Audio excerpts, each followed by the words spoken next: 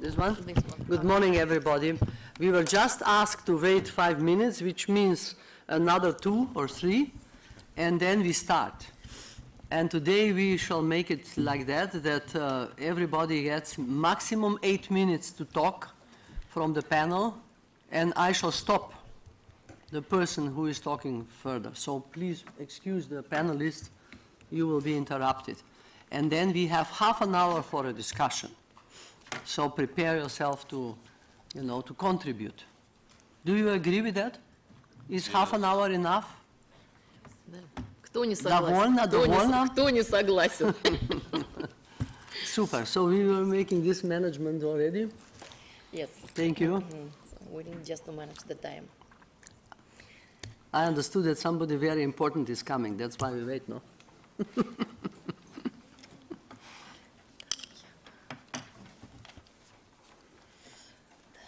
We uh, the Дмитрия Анатольевича вчера, значит, сегодня Владимира Владимировича.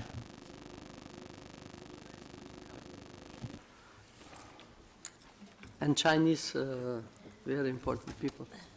Ambassador, ambassador, we are waiting. Is ambassador coming?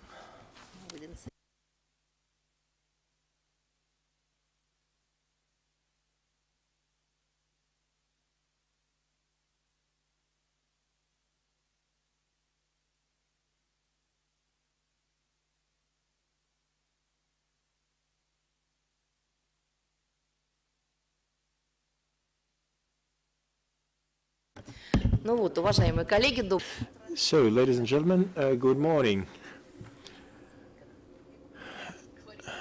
I'm going to speak Russian, uh, although I could switch into English, but uh, this is a bilingual session, uh, therefore uh, we can use both languages.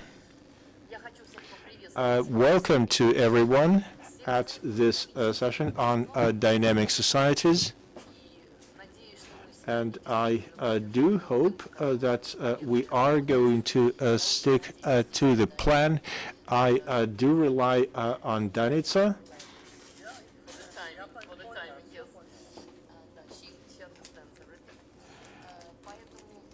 Therefore, let's start. We are going to have a very interesting discussion, and I would encourage everyone on the panel uh, this morning uh, to uh, take a look at uh, uh, several things, not just at the general issues that we have been talking about for years. Let us focus today on things that have happened over the last year. Uh, we have had uh, the last forum uh, exactly a year ago, and we had an identical session. So let's uh, throw a look at what has happened in our dynamic uh, societies uh, since that time. Let's do that. Now I'm going to pass the floor to Danica now, and she is going to introduce the panelists. Thank you very much, Natalia. Have an effective panel, uh, everybody talking eight minutes, and then having time for discussion. Uh, we also don't like too much the slides, but you know, I prepared one with a map, so I shall show it to you.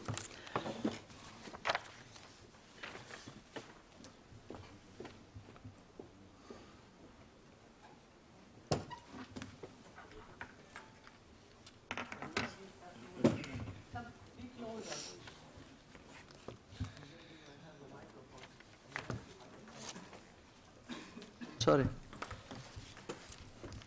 It's good if you are close here, you know. Danica Purg. I just tried it out, so should be on. It was already on the first one. This is not here. Uh, My name is Danica Purg. I'm sorry. I shall just start while she is preparing this. Yeah, that it is. That's the one. You know, we tried out everything, so uh, I don't know why it's now, now not functioning. This is my presentation. Yes. This one? No. no this one, where it's written Danica Purg. Right? Beer. No. no. Um, Danica Purg. Yes, yes, yes, yes. Už je. I hate this. Okay, I shall start. After 45, it looked like the world, its geographic and political construction, found its long-lasting uh, form. A limited number of the world powers. You will have to help because she, this lady does not. She, my name was here. Uh, I really hate that, you know, because I tried out everything before. It's bef before that. It was here. Yes. Here we go. That. There we go. And which one? No. Not Yeah, one of these no, two? n- Uh, yeah, no, no, no, no, none of this. Not this one either. That was yesterday, and this one is to, later in the afternoon. So Нет.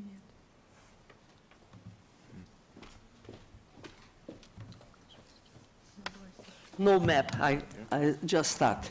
So what I said is that after 45, we were looking. Can you stop now? I, I'm, I have enough. Thank you. I have enough. So it looked that the world, its geographic and political construction, found its long-lasting form. A limited number of world powers and a larger group of the satellite states from all continents. Now we know that this period of the Cold War was frozen silence before the storm. About 60 years later, nothing is anymore as it was. Our world is in reconstruction. What lo- looked strong seems to me much weaker and the opposite. The power center of the world is shifting. Traditional political structure and institutions are losing their credibility as such and as ideal world models. In our efforts of globalization, we discovered the limit, limited value of regional and national solutions. Still today, not everybody understands that the label better or superior has to be replaced by different, and that power has to be replaced by the responsibility.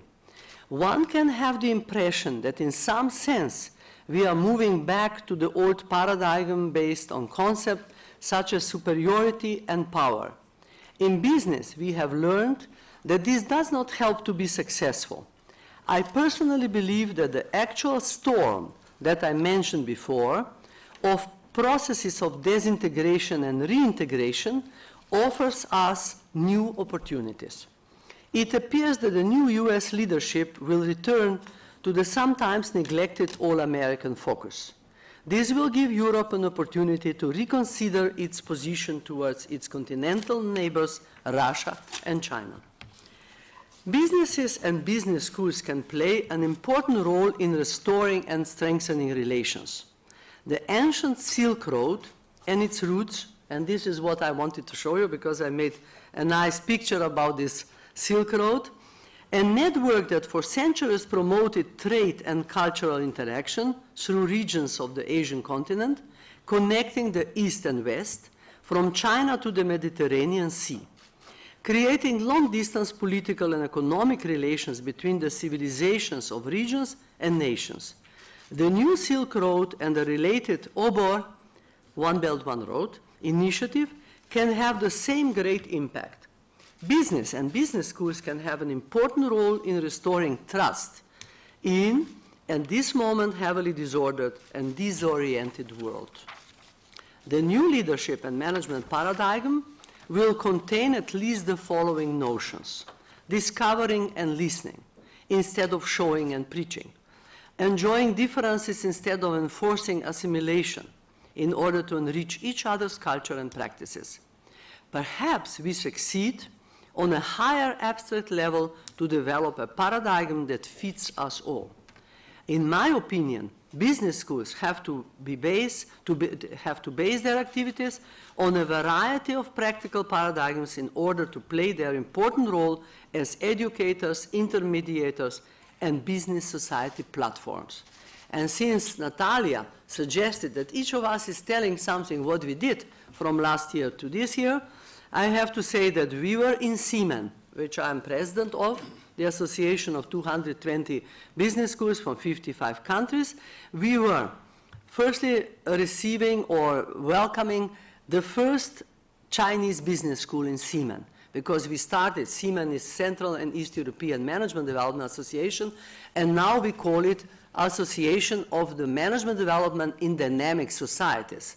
And you will be interested in from where this word, at least in my, uh, what I remember is that six, seven years ago, we were at AMBA meeting, and AMBA, you don't know, Andrew, this, but at AMBA meeting in, in uh, Dubai, and we were talking about how we should do, uh, you know, it was kind of retreat, and we were talking how to make, uh, how to make management education more relevant and so on.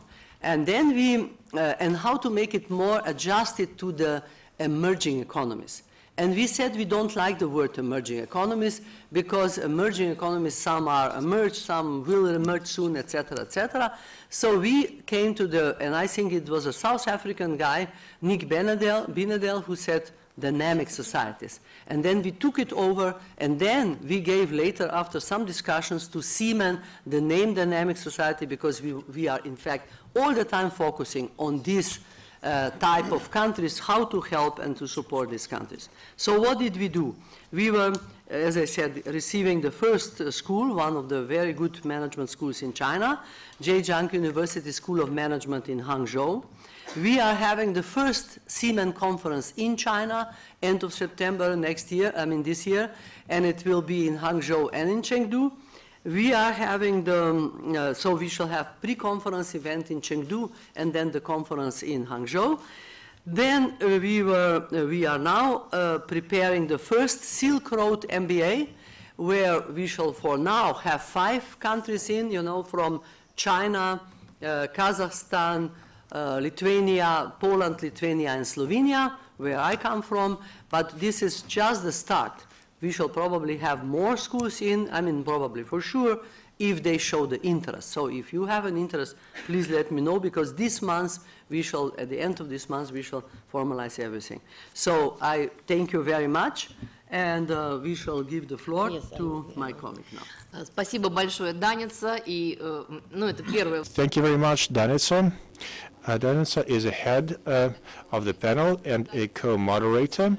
Uh, Danica, in her presentation, has uh, mentioned uh, our uh, colleagues from China, so it makes very good sense uh, to pass the floor uh, to uh, Justin Yifu Lin, Yufulin uh, who uh, comes from China. Over to you, sir.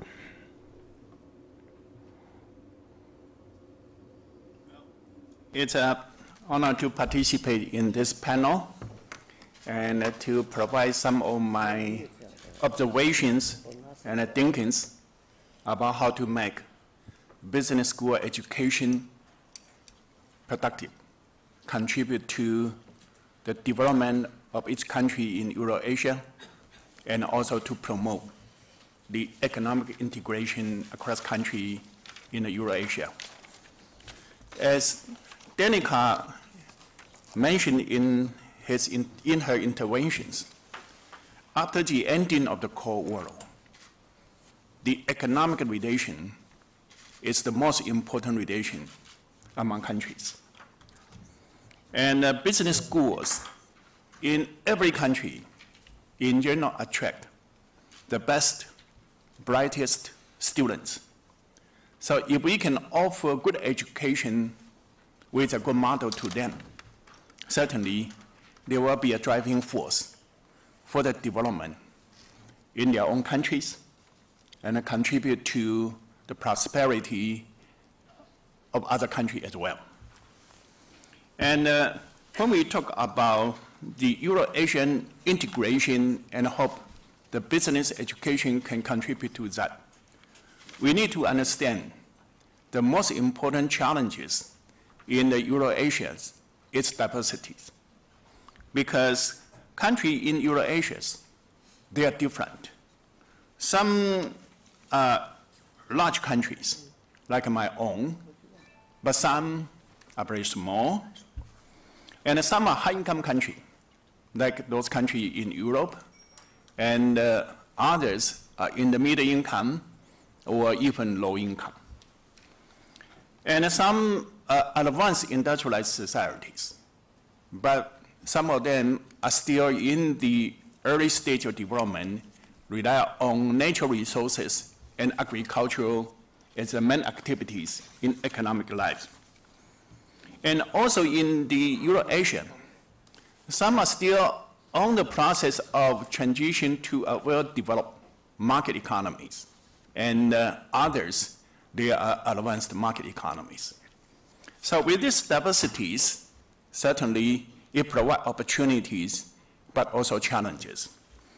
And the main challenges for me as a teacher is that most business school, they are too much influenced by the models in the US, or to some extent, also by some business school in the well-developed European countries. And the theory that we taught in the business school, in general, are from the textbooks that used in the US or in the advanced country in Europe. But theory will be applicable if the conditions are the same. But we know, as I mentioned, the diversities of Euro-Asian countries. So very often, those theories look very sexy, but when we try to apply the theory to the realities in the world, then both the professors, the professions, and the students are going to be frustrated. So with this, if we want to make a business education contribute to the career of the students, on the one hand, I think the faculty members of the business school in Eurasia has a responsibility to come up with some new theories based on their own country's experiences. And then those kind of theory will be more helpful for helping, for helping the students to understand the challenges and opportunities. That's on the one hand. But on the other hand, because we are talking about Euro-Asian integration, that means we want students not only to explore the opportunity within their own country, but we also want to encourage the students to grasp the opportunity that come up from the integration of the country in Eurasia. By that, I think the student not only need to study the theories, the practice that might be useful for them to deal with their own country's situation, we also need to encourage the student with the ability to work with others in different countries. And for that, I think it's very important to cultivate the ability of appreciating other countries' culture, other countries' political system, other countries' society. Those kind of appreciation will be the foundation for them to work with other uh, the business partner in other country. And uh, they also need to be flexible because one practice may be workable in one society, but may not be workable in other society with different cultural, legal, or political system. And so flexibility would also be important criterion for good business students. And the third one is teamwork. No one can you know, conquer the world by himself. No one can benefit from the opportunity by oneself. And especially if you want to work with in other society, you will also have to be able to work with other people in a team, not only members from your own country, but also members from other country. And I think that if we can encourage this kind of flexibility, ability to you know, appreciate uh, other cultures and to work with other people, those kind of general ability may be more important than some set of knowledge that can be implemented, can be applied immediately. So let me stop here. Thank you. That's very nice. Thank you very much. I have to say I was always um, a little bit disturbed seeing China developing only in the sense of the, you know, in the direction of American business schools. And I think that by this, uh, what you said, and by the uh, by the Silk Road and the focus on this part of the world, also, also on this part of the world, is something really uh, very welcome, and I'm very proud of you. And professor comes from Peking University, which is considered in China the number one. Uh, now I would like to go from uh, China to Kazakhstan uh, on the Silk Road, and I suggest that president of, of uh, Almaty Management University, Alma U, Asylbek Kozhakhmetov, uh, has a floor, have, will have a floor.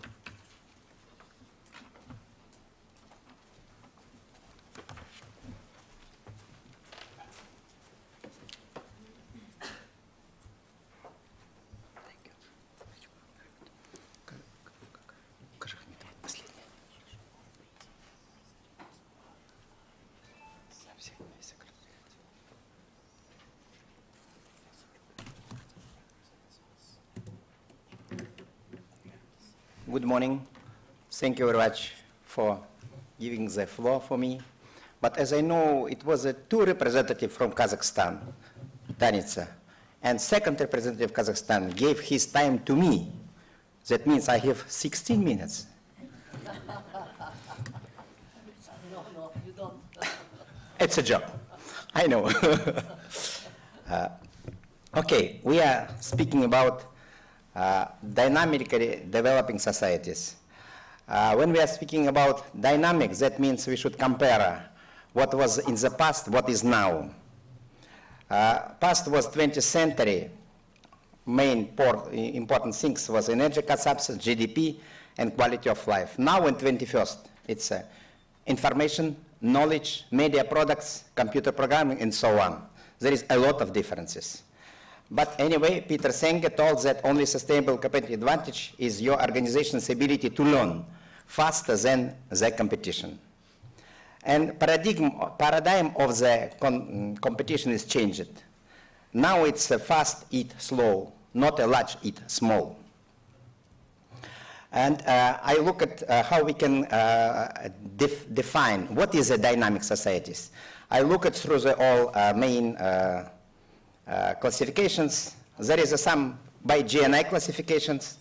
I found the fourth group, it's okay for us. It's uh, uh, average uh, 4,000 and 12,000 uh, dollars. Then I look through uh, human development indexes, knowledge economy indexes, global innovation indexes, index of globalizations.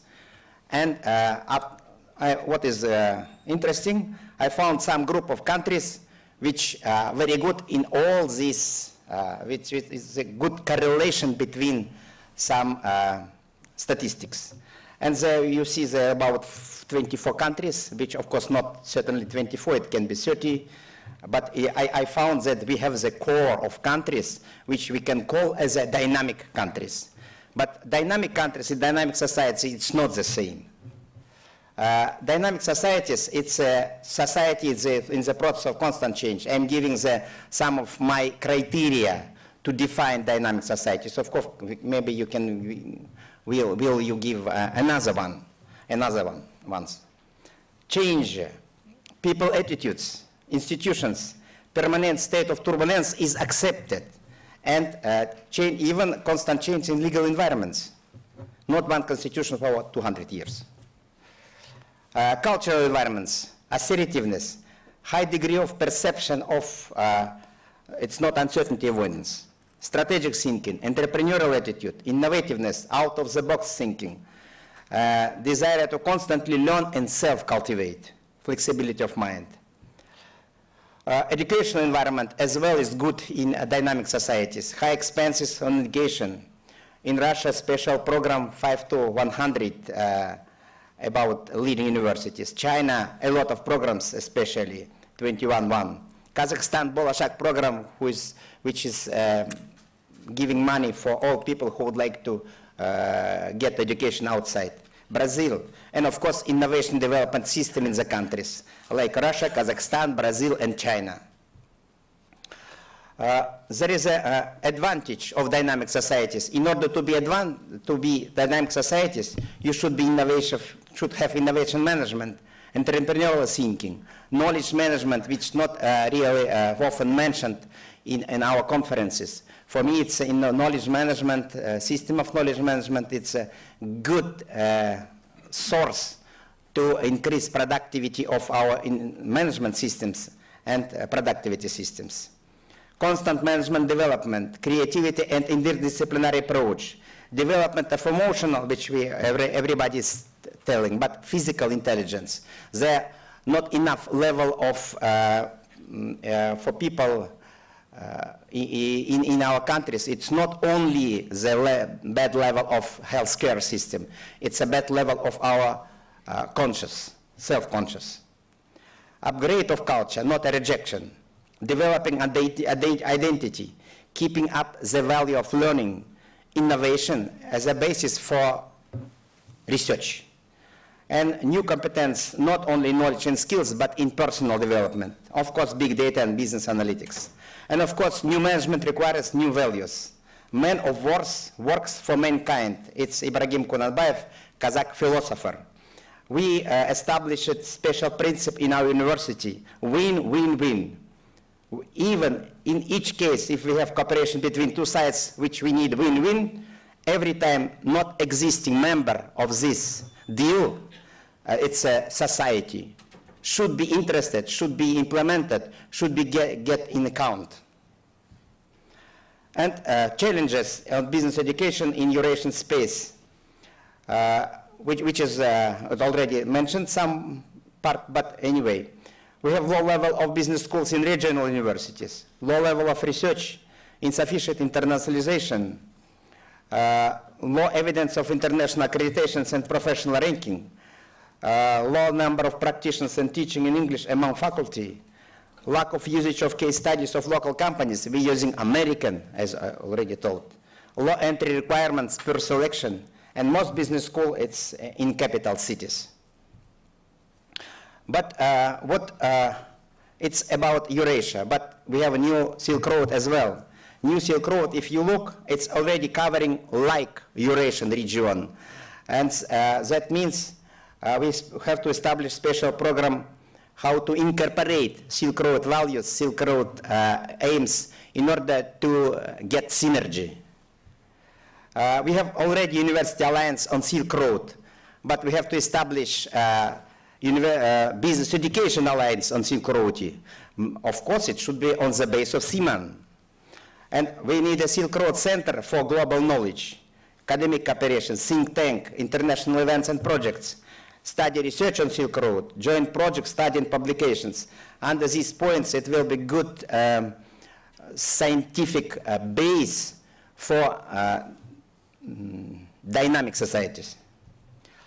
Uh, we, everybody knows triple helix of Etzkowitz, but we need now not just only triple helix, which is a state, universities, and business. Society should be part of the dynamic societies because we are speaking about societies and not about economies.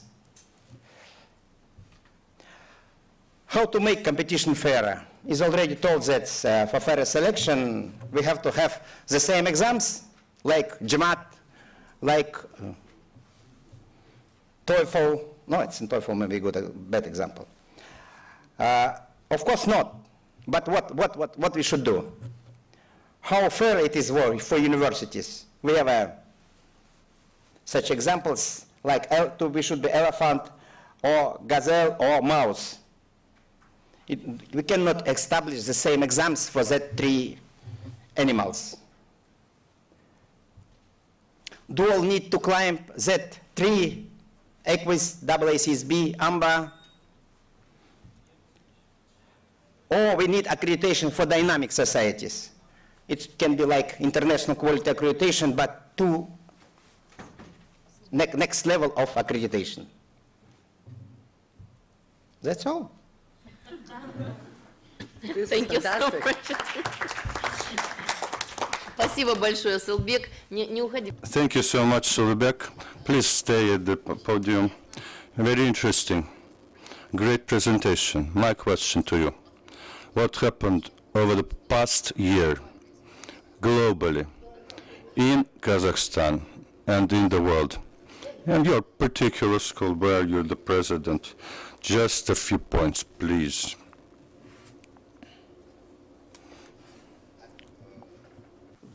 Я думал, что мы должны говорить. I thought we were supposed to talk about dynamic countries, and you want me to talk about Kazakhstan. I thought I should avoid speaking about Kazakhstan, should be speaking about global matters. Okay, M- My university, this past year, we opened the School of Engineering Management. First students have been enrolled. We're moving into that direction.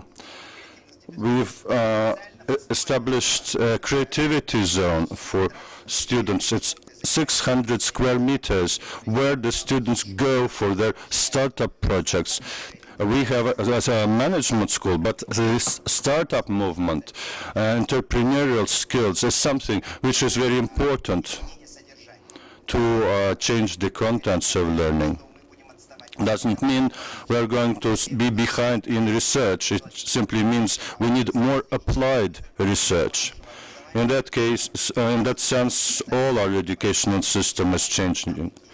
While the knowledge and skills, of course, are important and all universities are going to focus on that. But we would want to also focus on the personalities of our students. We want to promote those personalities, to help them uh, be prepared for the rest of their uh, lives. These are, this is the main news, uh, something that happened in our university. Thank you, thank you very much.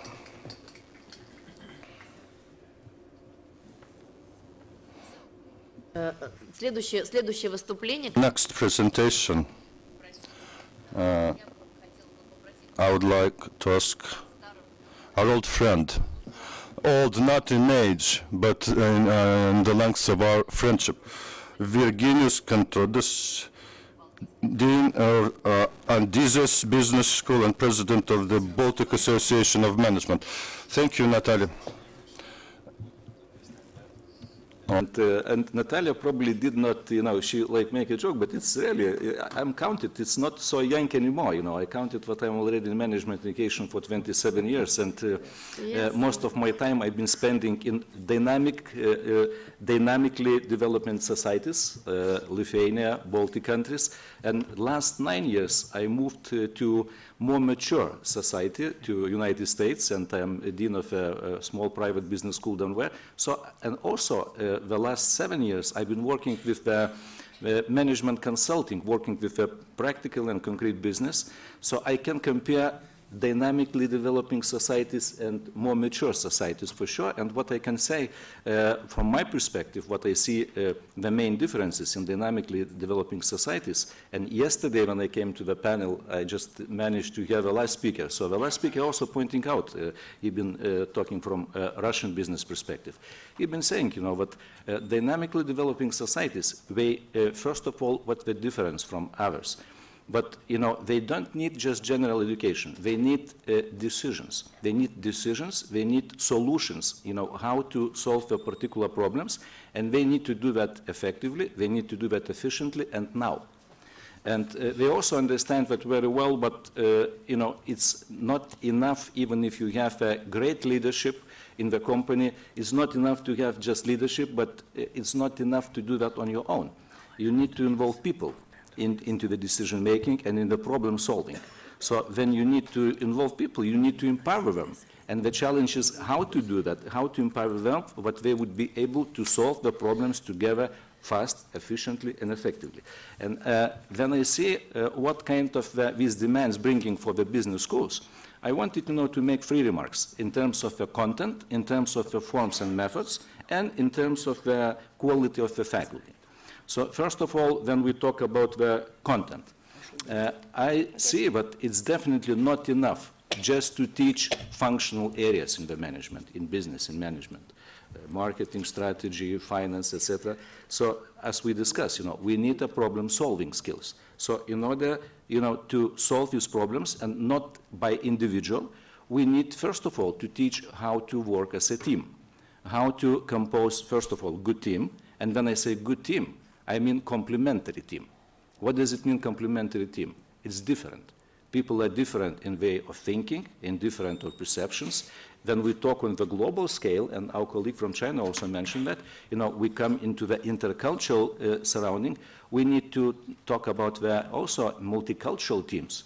So that's a big challenge when we have a multicultural teams or we have a different teams even inside of a particular country, we, for sure, we would have a conflict for sure. That's predictable in advance. So it means that in the schools, in the content, we need to teach how to solve conflicts. So not to stop them. That's one of the biggest mistakes that sometimes psychology has been doing. They say, okay, try to avoid the conflicts. No.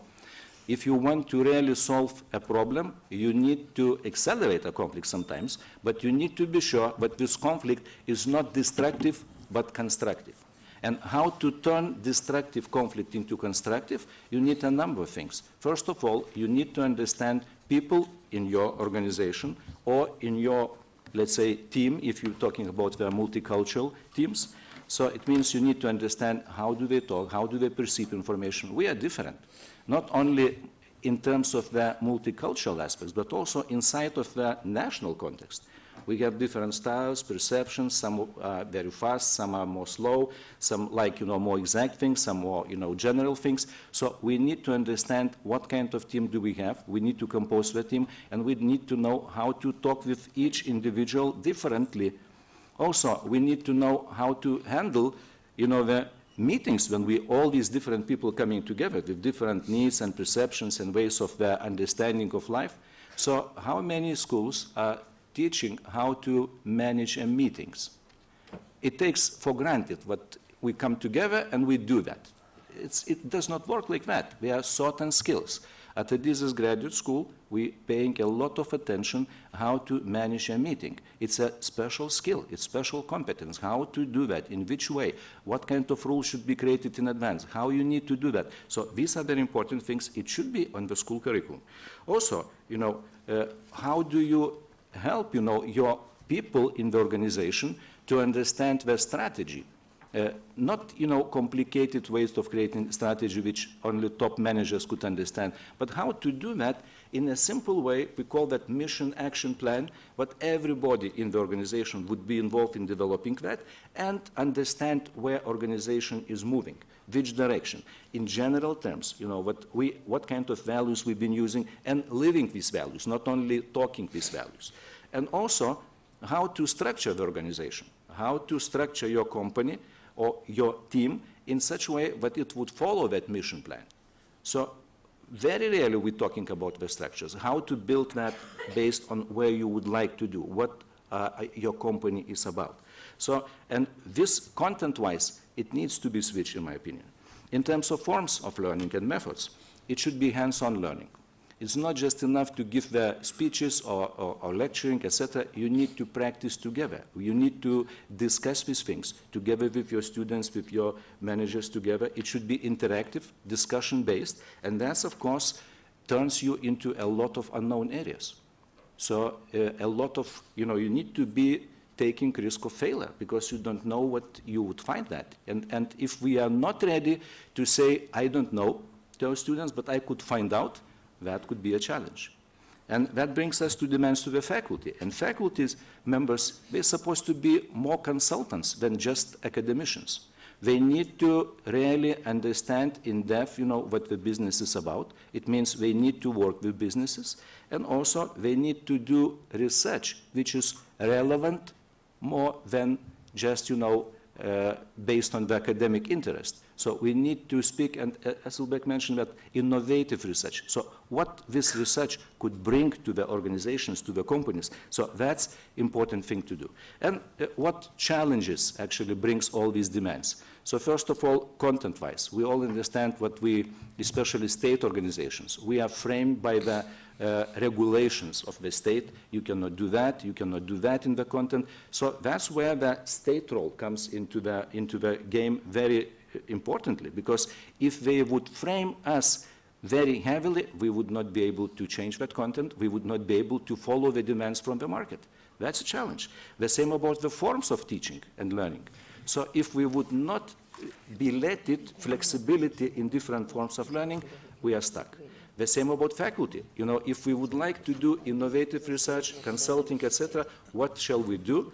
Uh, if we would not be able to publish in these journals what are needed to know for your academic career. So all these challenges, I think these are the biggest challenge from the state and where that's where cooperation from the state and from society is definitely needed in order to do that. So Uh, we thought about is, we thought about want. Should we do that? That's up to us. So we need to involve not only business community in order to have our dynamic societies, but also the government, our officials. And so then uh, we would be able to do something. Thank you. Thank you very much. You are nicely keeping eight minutes, so this is great. And now I would, uh, I would like to give the floor to Andrew Wilson, the CEO of AMBA International. And let me, allow me to say two words about uh, AMBA. Uh, I, as a president of uh, CEEMAN, I was uh, facing all these uh, 23 years of existence of CEEMAN, uh, different, uh, different attitudes to our association from other international associations, and I have to say that AMBA was the first one who was really understanding that there is a need for, for an association uh, of management schools from this part of the world. And AMBA was the first one who was really, without prejudices, coming to Russia to, uh, uh, to uh, uh, you know, to review the Russian MBAs and to uh, credit them. So my big compliments, and the floor is yours. Oh, thank you very much, Danica. And it's 50 years they celebrate year, now, so we are congratulating them with a hand of applause. И я, Now, х- да. И я хочу от себя сказать, что Эндрю On my behalf, uh, surely AMBA uh, celebrates uh, 50th anniversary this year, and it's a very solemn occasion for us. And very happy to note that at the start of this big race, sh- uh, AMBA starts here in Russia. Tomorrow, there's going to be a special session from AMBA devoted to the 50 years of the association Phones at the desk, but I, I hope that was something she nice. was talking about your 50th anniversary. I told you, I told about your 50th celebra- uh, Right, anniversary lovely. that you started to celebrate it in, Okay. from Moscow, from this Splendid. Gaidar Forum, and that yesterday will be the special session for AMBA. Tomorrow. Uh, To- tomorrow, tomo- tomorrow, Sorry, yeah. tomorrow will be the special session. Ну, то же самое, да, 50 лет, завтра специальная сессия посвящена AMBA. Uh, Amber is 50 years old this year, and we've got a year-long program of celebrations, but it started, our very first events are here in Moscow this week. Um, and we're very proud we accredited our first school in Russia 25 years ago.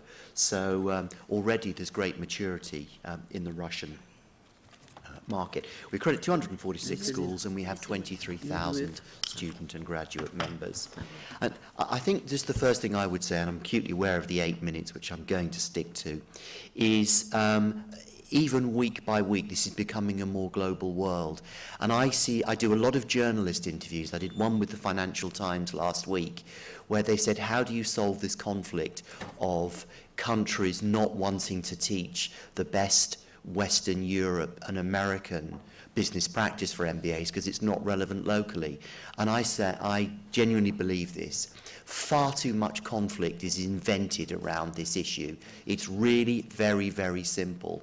Any business school in any of our 70 countries where we accredit schools wants the best of both worlds, which is the best of global practice and techniques, of course, and the best of local, relevant management experience and management teaching. It's very simple. You do want the best of both worlds. So, so how do you create that? Well, one of the, the, the most logical things is to create alliances worldwide with other business schools. So you're taking the richness of that practice globally. Um, and I'm a great believer that at the very least you should want as a school six business partnerships with a very similar school to your own standards in each of the six continents. And if you just start with that, with faculty exchange, program creation, joint marketing, student exchange, you're off to a great start. One thing I do find, though, in this rush to, to build um, uh, Eurasian and global programs is people are choosing far too many partners. And, and I keep a record when I go to schools of who's got the most partners. And the record at the moment is a Chinese school I won't name, but they proudly tell me they have 67 different partnerships with other schools around the world. And of course, that is absolutely impossible to manage. And, and we do strongly recommend you have far fewer, because really all that is doing is collecting business cards and names, but you can't create meaningful alliances with, with that many partners. Um, this, is, this is our Russian network, um, and this is our Indian network, is growing very fast. So in this whole Eurasian area, uh, do look out for the Indian schools and the sheer growth.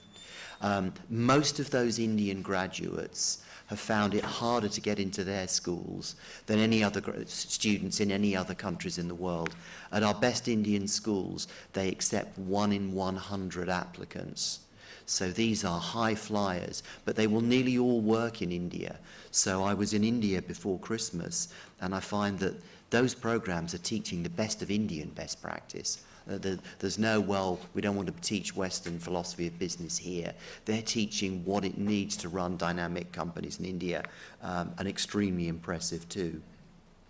Uh, if I look at China now, where we accredit 30 schools, two big things that have changed this year is, is the drive for higher and higher standards in Chinese schools and to develop entrepreneurs. And I was very honored to be at Peking University in September, where I had a personal audience with the president of Peking University.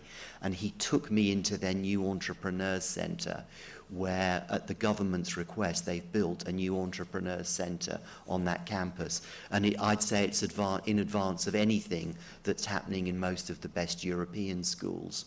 Uh, and the irony is, where you think central government might be slow to change things, the rate of innovation is far quicker now in China because everything is centrally driven and controlled. So you can bring in change. And I actually think you'll find much of the entrepreneurial development in the whole Eurasian area will come from China because it's certainly moving much faster um, than many of the European schools that I see. The other change, too, to look out for is the government's change there to move away from research orientation at business schools into creating more entrepreneurial programs. And that's being carefully monitored by the government over the next few years. They want to see faculty with more entrepreneurial skills because it's to create employment. And we sometimes forget that much of the drive in business schools is to support the economy creating more jobs. Uh, the same thing's happening in Germany, the same thing's happening in Italy, because the large companies are no longer providing enough jobs to employ all the graduates. And if you're going to create local entrepreneurial programs, you do need partners around the world. But a small entrepreneur creating jobs in a Chinese city is not going to be interested in large American or European case studies because they're probably not going to be um, so relevant. Just one thing I would touch on here that we're trying to do to further some of this cooperation is for schools clearly not good enough to get the top level accreditation, be it AMBA or AACSB, we've started something called the AMBA Development Network, which is to bring other countries into the global family, both in Eurasia and further afield. Um, and these have become members of AMBA, where we're supporting them with much more basic improvements of their business school activities and introducing schools in, in Mauritius, in Zimbabwe, in Senegal, and Bangladesh to the rest of the network, again to enrich culturally uh, the experience and sharing of programs and students. Um, satisfaction of students is, is very high at the moment amongst our schools, um, but they are saying they want more and more global connections, both to have a semester at an overseas school, but also to have a network when they leave of other like-minded global MBAs and students. Um, I would say too that the value of these global networks is not immediately obvious. You don't want just a great American school, a great Chinese school, great European school. And I, I, I've quoted at the CEEMAN conference um, three areas of cooperation of similar problems where students would like to see students from these other countries which are not so immediately obvious. So two years ago in Russia when the oil price collapsed and there were some trade embargoes, some of the top um, Russian CEOs were saying to a couple of our schools, the MBAs can't handle currency collapse, oil price collapse, and trade embargoes. They don't know how to handle them. Well, all those three things were happening, and our Venezuelan school, which is highly respected, was dealing with the same things natural cooperation there. Kazakhstan and Australia, some of our schools are in remote areas 1,500 miles from the nearest city. So how do you share some of those experiences? And in the Ukraine and Lebanon, our schools have spoken because, again, they've had some similar market conditions. So not immediately obvious, but look for partnerships and idea sharing in countries with similar problems. Um, and this, Jeff, very, very finally, I I mentioned this yesterday, as digital learning now through technology and teaching is really starting to come of age, uh, this 45 square meter wall that can bring in up to 80 students at once that IE have created, is this a way forward that really will facilitate more and more um, global and pan-Eurasian networking of both faculty as well as students? I think that's probably eight minutes, and I don't want Anita telling me I've got Thank to you so much. Thank you. Thank you very much. Thank you so much, Andrew. Thank you. So, Ага, хорошо. Мне хочется предоставить... Like to give the floor to the next speaker. Also our old-time friend, Veselin Blagoev, who is now Vice Rector of the International University College in Bulgaria. Before, he was high in the government of uh, Bulgaria. Uh, um, General Secretary of the Cabinet of Ministry and, and of uh, agency, privatization agency in Bulgaria. And he was member of the board of CEEMAN board for a number of years. So, and Veselin, as he's preparing his presentation, was one of the, uh, was the author of one of the first marketing manuals. I was asked to, to talk about something which is a little bit far away from uh, the mainstream, uh, from the conceptual things. Uh, of course, the conceptual things are the most important things because they uh, represent our vision, mission, uh, all these things uh, which we have to decide on our side as top managers of the schools, business schools. I'll talk about the little things, the technologies and how they affect our education and things uh, we do. Uh, first of all, there are inevitable things which are happening whether we like them or not. For example, this is just one little example. Uh, some five, six months ago in Singapore, they presented emotionally intelligent robot. Can you imagine that this thing is becoming more and more real? If we take it uh, on the line of the main avenues which we uh, see, we have the artificial intelligence developing, uh, coming to self-educating robots. Uh, it sounds dangerous to me, but anyway, this is one of the things which is happening. Then the itization of the process, we are stuffing anything which we do, uh, coming up to the managerial process uh, with IT uh, equipment and uh, uh, software and programs and all the rest, which again seems to be a little bit uh, frightening. Imagine that uh, instead of a medical doctor, you have a robot uh, which tells what you have actually there. Uh, without anything which uh, previously we were considering to be a good medical uh, study of the patient. Then we have this Googleization, which is a terrible thing, which uh, uh, I'll talk a few uh, minutes later about this again, which leads the people actually to getting away from the normal analytical uh, process in the education and further in their activities. Then we have video conferencing, which is again a mainstream, and video recorded classes. Uh, if we take uh, this on the side of the education, the Googleization actually affects uh, in the most terrible way, I would say, the learning process.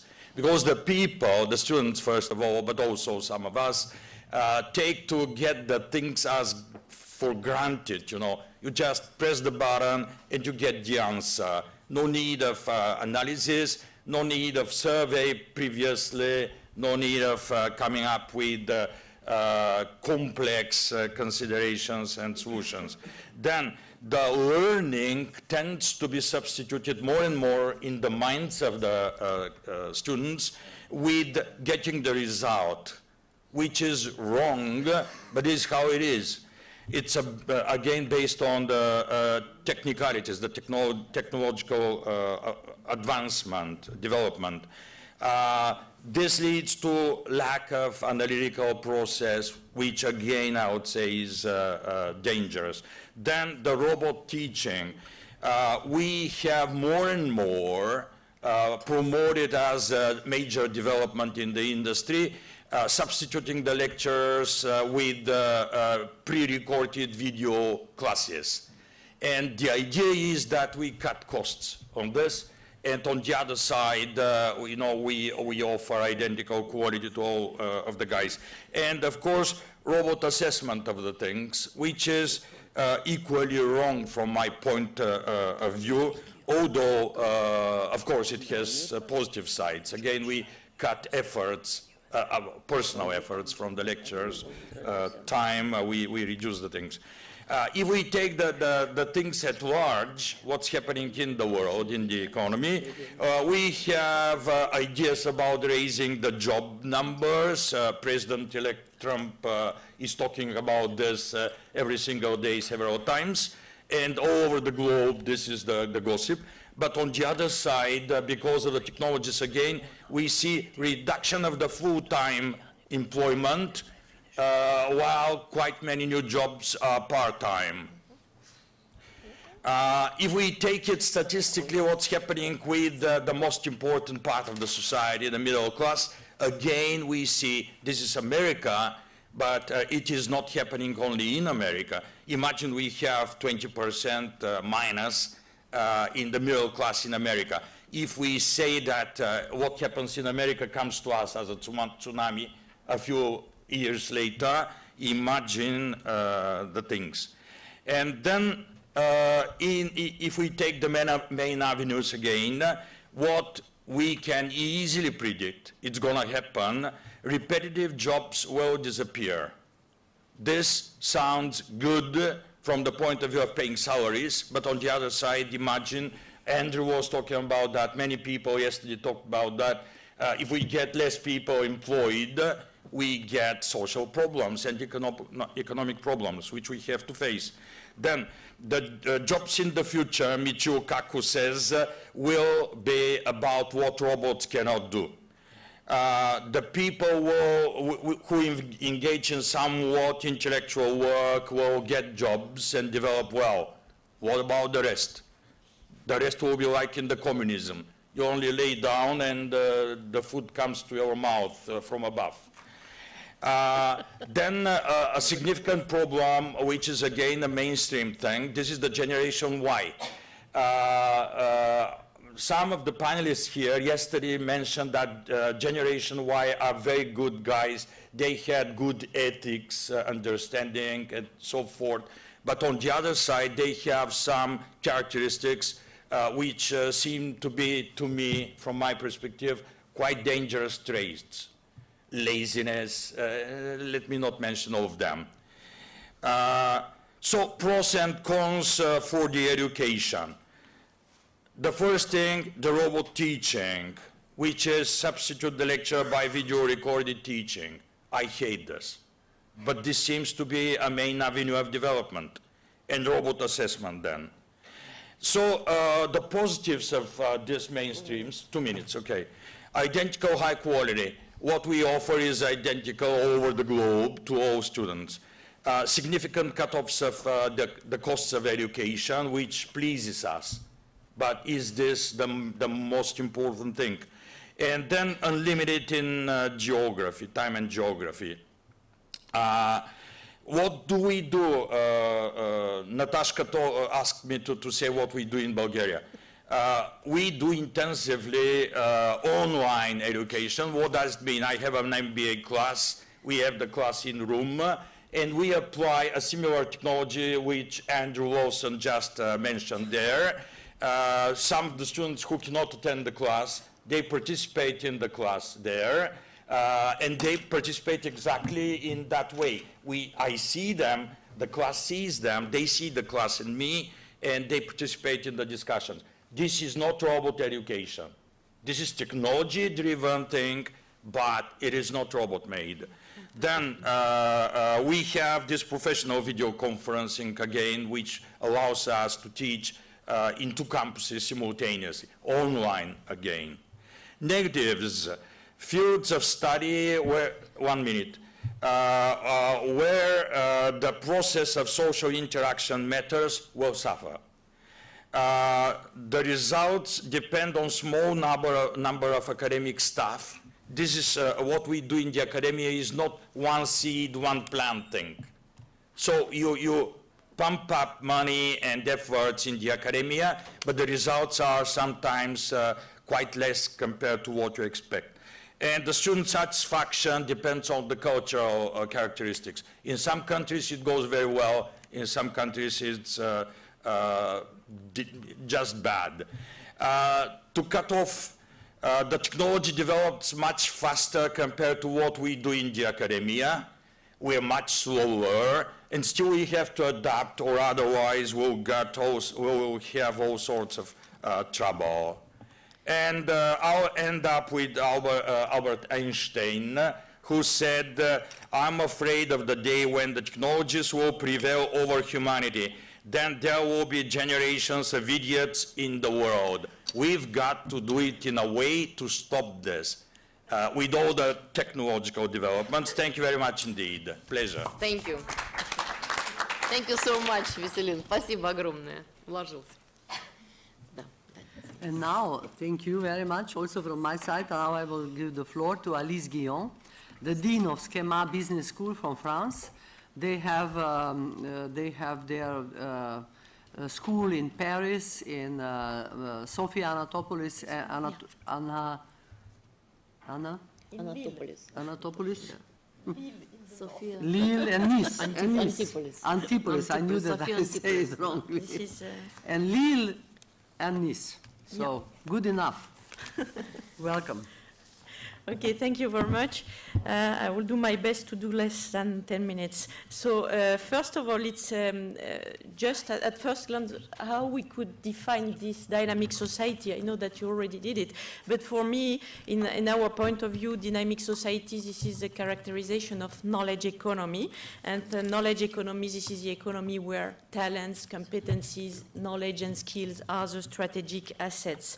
Um, Firstly, I would like to say that this knowledge economy is totally globalized, but very more recently, education was globalized. It means that we, we can say that it started 30 years ago, as the others started for uh, 50 or, or more. And it means that we are very young in this process of, uh, of globalization. So globalization is mainly characterized in education by some items, internationalization, languages, uh, expertise differentiation, students exchange, which is the base of internationalization of our business school. Uh, but uh, really, if we uh, follow the trends, we are not in business school totally globalized today. If I follow what Peter Lawrence said a few years ago, he said a business school is globalized when it is present with its brand in different continents. Today, we are mainly doing exchange students. We export our program, but we are not uh, on probably we, we are only less than 2% to be really, to have set up really campus uh, in the other continents. So it means that we have some job to do and uh, we have to, to work mainly under the auspice of the accreditation bodies just to standardize our quality. But uh, it means that we have some work to do. So education is, is uh, dynamic society is very important as you can see in this slide, but it means that uh, following what Eric Cornuel said yesterday, we have to reinvent our model. We have to, probably it's time to reinvent our mission and to uh, discuss with our stakeholders to be certain to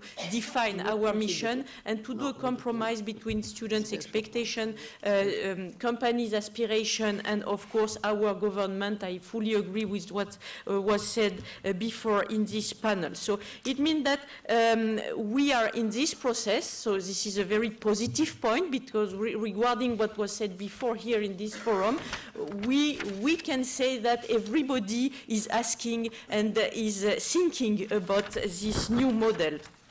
For sure, we had a chance seven years ago to start from a white page, creating a new school, SKEMA Business School, and we had a chance to ask more than 100 students about their aspirations. So the, the result of that is that students, when they are moving and when they are choosing a business school, they are choosing, of course, a brand, a project, uh, uh, uh, territories where they want to study, uh, they, they, they, they want to, to, uh, to discover a new culture, new project, but at least they want to find a job and they want to start their career and mainly in the international arena. And in the same way, we did, we did the same with, the, with companies and uh, asking a lot of companies about their expectation regarding the creation of a new business school. They ask us, you see, what is important for us is to go beyond the management. We want to have ethic manager for sure. Business is business, but it has to be ethic. We want to have people who, who are able to innovate. We want to have people who can lead a virtual team and who can be at ease in a multicultural environment. So it's why when we decided to create this school, we created this school with a total innovation in the product, in the process, and of sure, uh, of course, with a new form. So it means that we have to think, and it could be a, a, a, dri a driven for, for us, we have to think about our structure, our content, and of course, what we can do with our program. So we can do a lot of things. We can, we can combine different products, uh, hybridization, on EdTech, online, of course, program carousel. We can combine also different structure, uh, different structure uh, with new branch, with a program developed outside, with multi-site and multi-channel uh, structure. So when we created SKEMA, School of Knowledge, Economy and Management, we started by Oh, sorry, but my slides are not in the, in the good set. So we started with, um, with um, asking the environment. So the environment in higher education is driven by three main forces, digitalization, R&D innovation, and of course, education. And the organization, they are doing, uh, uh, they are looking for uh, new forms, of course, and new content. Uh, for sure, globalization means also uh, the revitalization of different territories uh, when we are. So it means that the cultural aspect is very important when we are talking about, about globalization. So we had a chance to create uh, this new structure uh, with, uh, based on three main things, mobility. So it's why we have these three campuses, Danisa in France, but we have a, a, a, a real campus in Suzhou in China, and we are acting as a, Chinese player. We have a campus in the US and we are acting as a, a US uh, business school and we have just opened a new campus in Brazil, in Belo Horizonte, and we are acting as a local uh, player there. So it means that our students, they can choose to be mobile all over the world. They can choose a pathway where innovation is very important because we have set it our campuses in technoparks and for sure knowledge management is very important and to go beyond uh, the management in our course. So this is a real new experience. This is fascinating. I can share that with you if you want and I hope that it was less than 10 minutes so thank you very much for listening. Oh, it was six minutes. Thank you. it's really fantastic time at six minutes. Thank you so much. И э, у меня сейчас есть тоже обязанность. Uh, now uh, I uh, have a duty. Now I am going to introduce the next uh, panelist, uh, Sergey Serebryannikov, who is the uh, Dean of Engineering Department uh, at uh, RANEPA.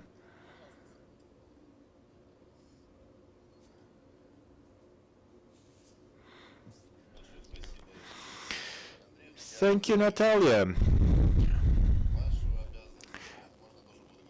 I am going to speak Russian.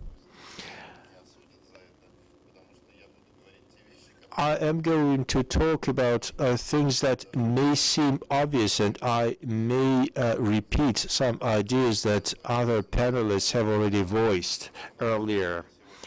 Uh, I have listened uh, to all presentations very carefully, and uh, as I did, I realized that in my presentation I have not covered even a small part of what others uh, have uh, been able uh, to touch upon today. Um, I would like to start by saying two things that not everyone will agree with. One, we live in the world where Humboldt uh, learning model is uh, no longer relevant.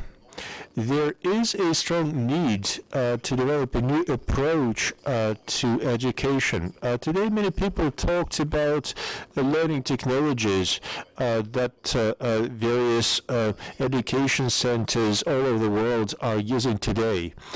Uh, and my second point uh, that I want to offer to is that the need uh, for uh, pure managerial skills for managers or economists, uh, for people with narrow skills, uh, is no longer there. Nobody wants uh, narrow specialists. Uh, this is a fact. And uh, it uh, brings me to say that uh, within the process of Eurasian integration or within a broader uh, dynamic society uh, context, uh, don't worry about the presentation, it's okay, forget it. They tried to open my PowerPoint presentation but failed. Anyhow, we know that quick uh, changes uh, that we see in society bring about a situation uh, when uh, organizations uh, fail uh, to develop long-term strategies. Uh, people cannot uh, create plans for five years simply because black swans can change things very quickly, and we end up in a situation when we don't know where to go and what to do. This again has to do with uh, business education, and this is relevant uh, to uh, business education. Uh, the uh, tools that we use to make decisions are different in different geographies.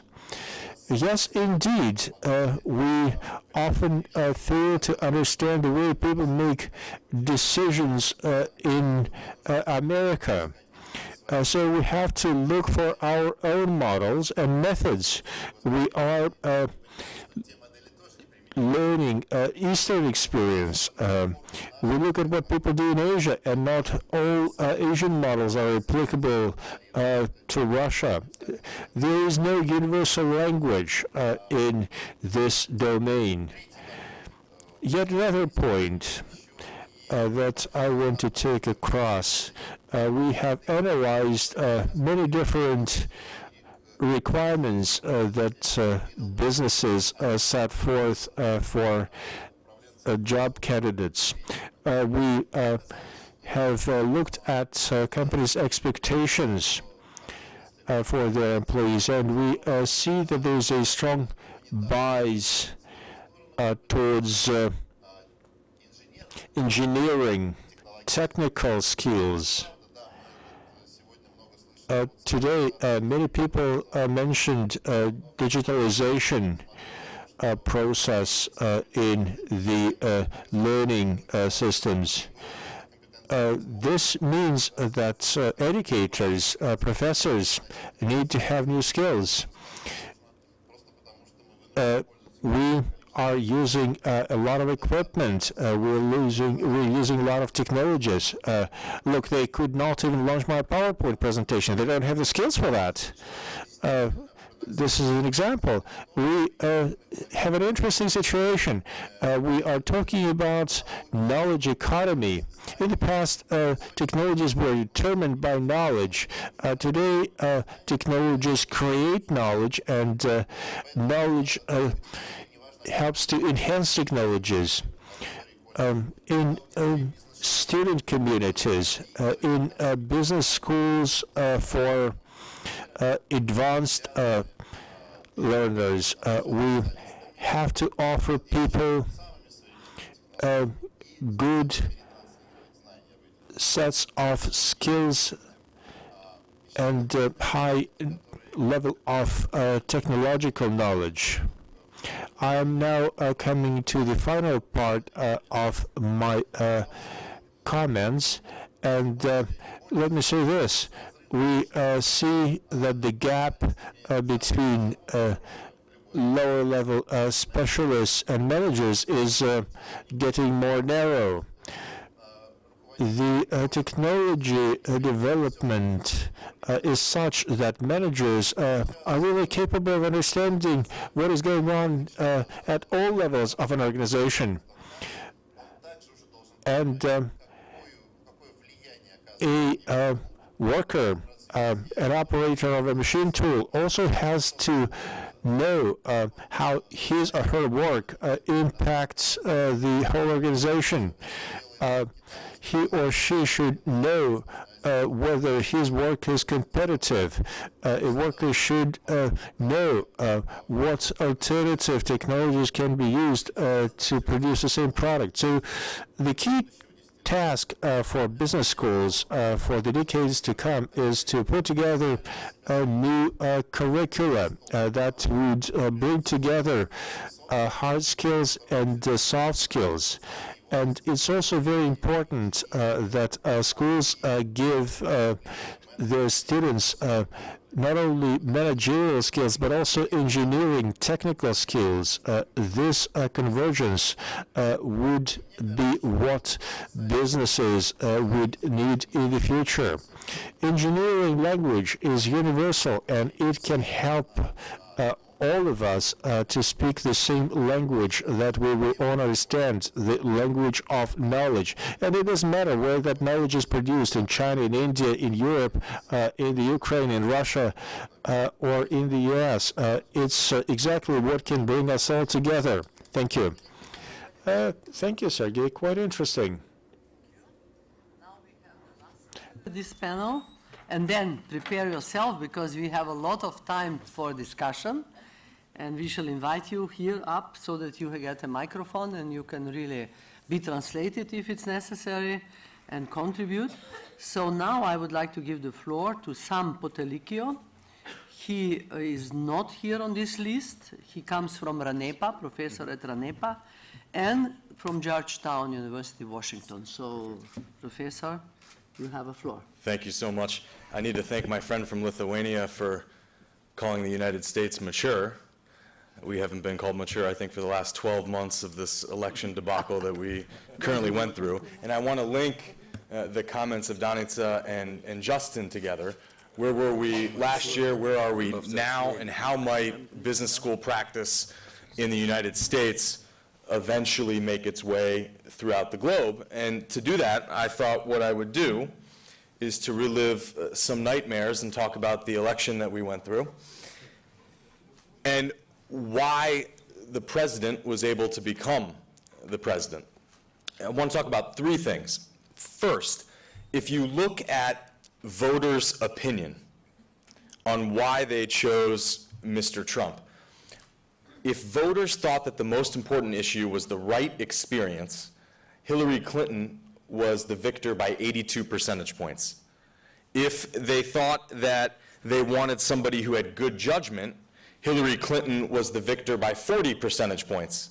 And if they wanted somebody who cared about issues that were close to them, Hillary Clinton was the victor by 23 points.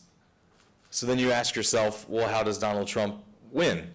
He wins for voters who wanted change. And he wins that by 70 percentage points. And I think that this is something that we need to take into account when we talk about dynamic societies and constant flux and constant movement. The second point that I want to talk about is education as the new cultural divide. In my country, about 10% of people have a master's degree or higher. That is the average. And there are 18 states in the United States where more than 10% of the individuals in that state have a master's degree. For instance, I live in Washington, D.C. 28% of the residents of Washington, D.C. have a postgraduate degree. When I was a student at Harvard in Massachusetts, 18% of residents in Massachusetts have a master's degree, and now my birthplace of Maryland, 16% of master's degree. Of those 18 states that had more than 10% with the postgraduate degree, Hillary Clinton won all 18 of them. That the number one predictive variable when you look at this electoral development is that if you look at the higher education accomplishments, you could almost certainly predict what candidate would be preferred. The third variable that is important is the elite gatekeepers. Historically, Republicans have won about 60% of the elite newspaper endorsements. This last election cycle, Donald Trump only won 3% of the elite endorsements. And yet it seemed not to have an impact, and the reason why is the trust in institutions has completely dipped. That the people in the United States used to have a great deal of trust in the elite media, 61% about 20 years ago, and that number is down to just 20%. Second thing that I want to talk about that I think is important for how we start to think about business education going forth is what will happen now to the global institutional architecture with America turning inward. If you look at these statistics here, it's America first. In fact, this was a tagline of President-elect Trump's campaign. And what impact this will have when it comes to increasing political scrutiny of the World Bank, of the United Nations, and other multilateral organizations. But most importantly, the rise of megacities and the decline of states with the rise of city-states, whether or not it's Mumbai or Tehran or Lagos. And the importance of megacities when it comes to global finance, whether or not it's an important city like Moscow, where 40% of the GDP is produced here, and this being a predictive variable going forward. Leading to my final point. If you can't read the caption here, this is an airline passenger who raises his hand and says, these smug pilots have lost touch with regular passengers like us. Who thinks I should fly the plane?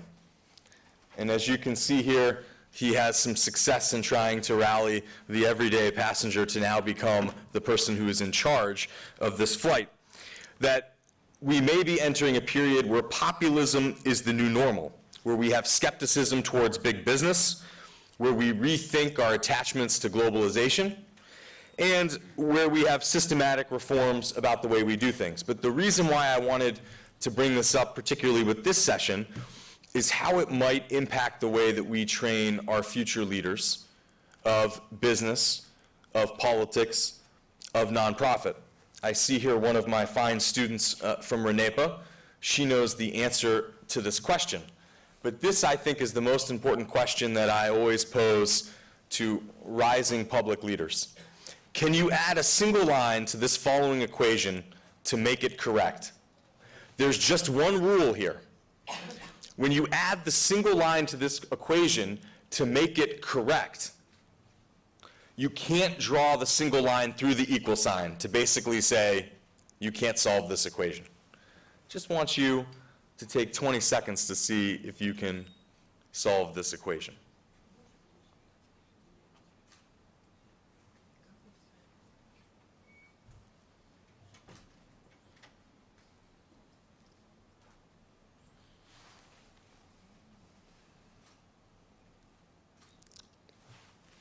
And if anybody is brave enough to volunteer an answer, I will collect that.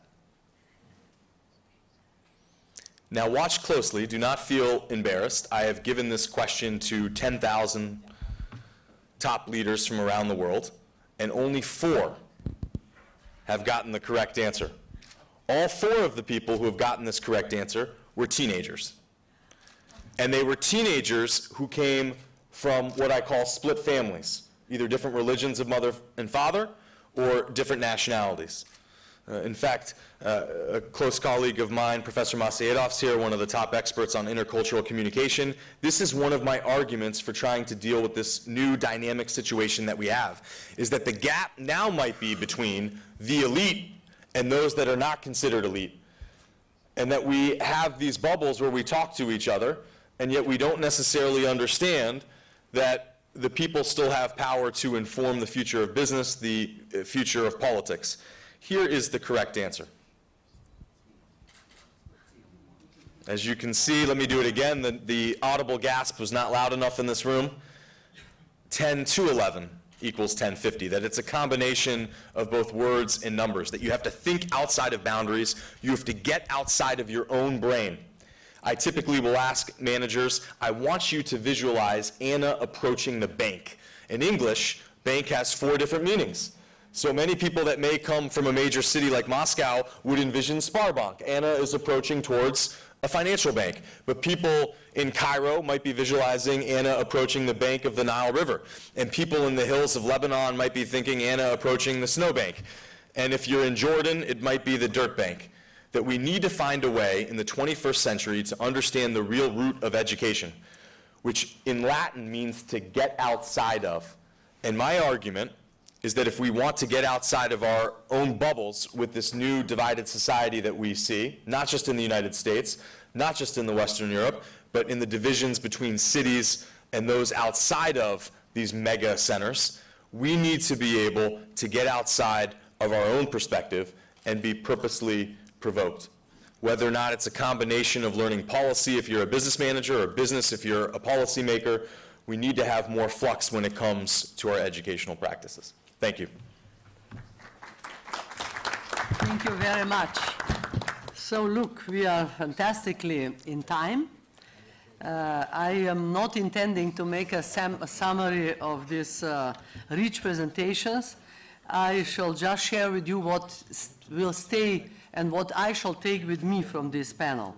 And that is that we were really taking, uh, uh giving a, paying a big attention to intercultural exchange, to ability to appreciate other cultures, and we are planning, uh, we are thinking that with the Silk Road activities and with connecting the continents and countries, we could do a lot more with students. I have to say that I'm very much appreciative of uh, what Asylbek Kozhakhmetov from Alma U uh, was uh, trying to do and made successfully, in fact. And this was like giving a vision to what we should do uh, you know, to, about to make it more solid, these ideas, to realize these projects, like joint projects, scientific base to give to all this. I think that this was a, a great contribution. I appreciate, of course, very much the, uh, the, um, uh, the, the, the, contributions on multicultural teams and on all that. Uh, I would like to say uh, that uh, uh, Veselin was talking about millennials, millennials, you know, the young generations, and I would like to uh, here to share with you that in our school, uh, one of the students had a PhD about millennials, uh, his thesis, PhD thesis, and the final, and with a mentor from, I think, Harvard University, from somewhere outside, from a very important uh, management uh, development institution, and he came to conclusion that millennials, the talk about millennials is a construct, that in fact there is nothing like millennials. And uh, when you said, Veselin, that they are lazy, it doesn't mean lazy. They just, it's kind of typical for them is that they want to develop very quickly, uh, not waiting for career, you know, steps, etc., but going straight for it and they don't want to work day and night like uh, our generation is doing. But in any case, his conclusion was that this is a construct, just to, you know, and he made a very serious work about that.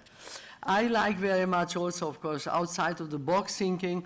And of course, we were talking a lot about the role of technology, which I think we need both, as I mentioned in the beginning, high tech and high touch. High tech to transfer the knowledge and to help us, you know, to connect and to bring the best from the West, as I always say, and leave the rest.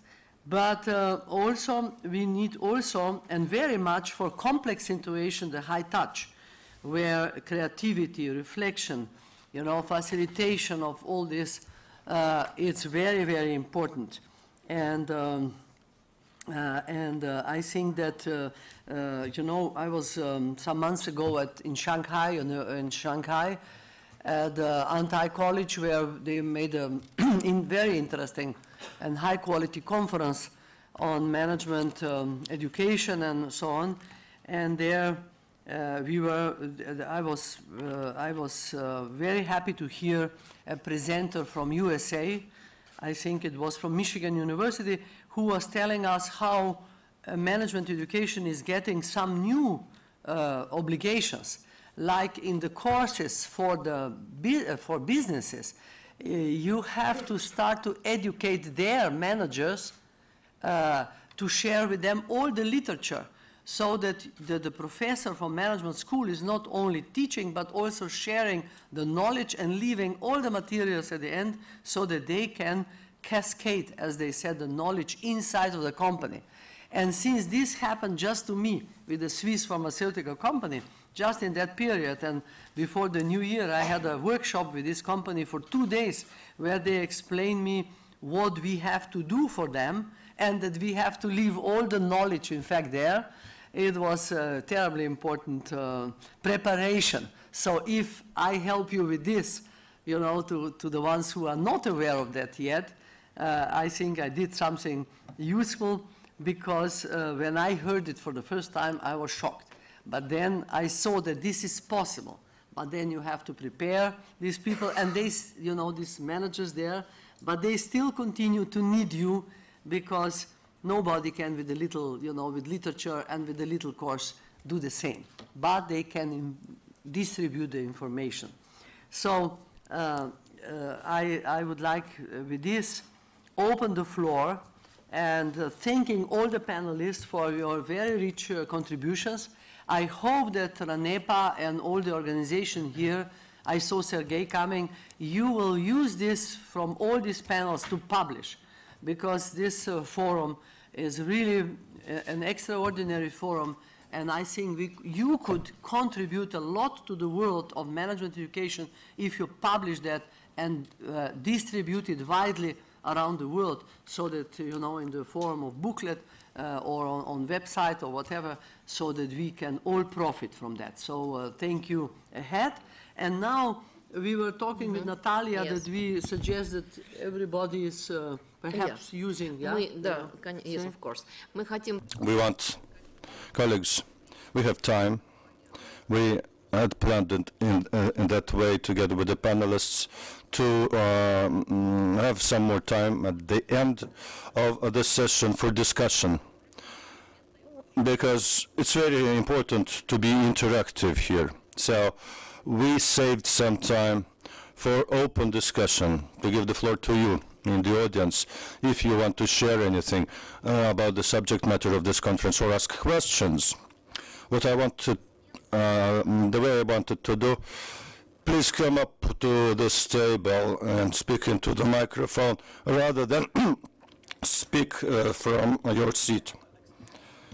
Happiness Director at Games of Future. It's an NGO. Uh, we do breakthrough educational technologies.